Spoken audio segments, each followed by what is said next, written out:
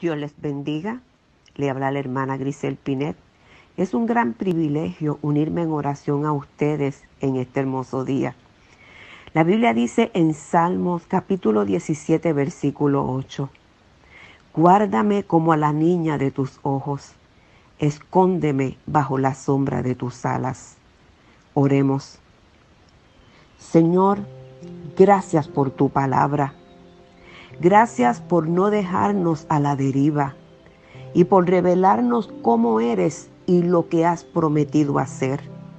Padre Santo y amoroso, hoy nuestro motivo de oración es que nuestra fe sea fortalecida, que no nos fijemos en nuestros cuerpos ya gastados, porque tú, oh Dios, nos has dado una fuerza capaz de renovarse día a día.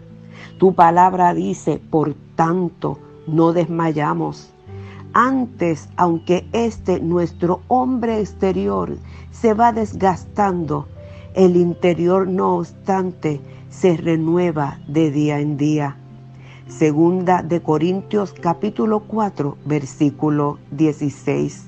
Oh Dios, que no olvidemos que siempre debemos estar confiados porque tenemos un refugio seguro en los brazos del Señor. Que acudamos siempre a ti, oh mi Dios, para pedir confianza en caso de que nos sintamos temerosos.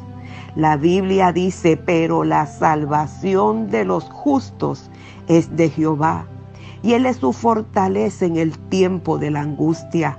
Jehová los ayudará y los librará los libertará de los impíos y los salvará por cuanto en él esperaron.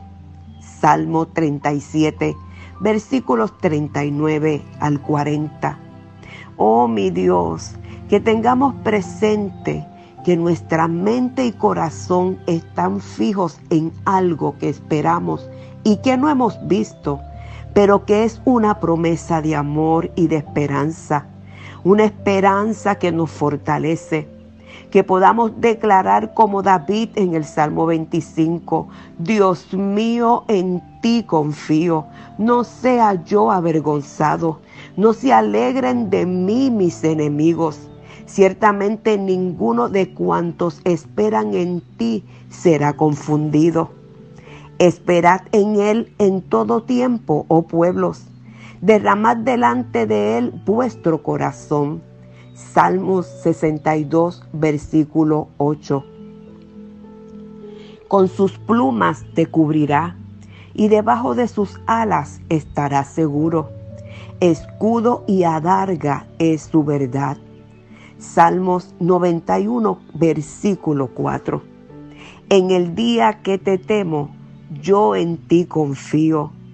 Salmo 56, versículo 3. En el nombre de Jesús hemos orado. Sigue agarrándote por fe. Él te responderá. Dios les bendiga.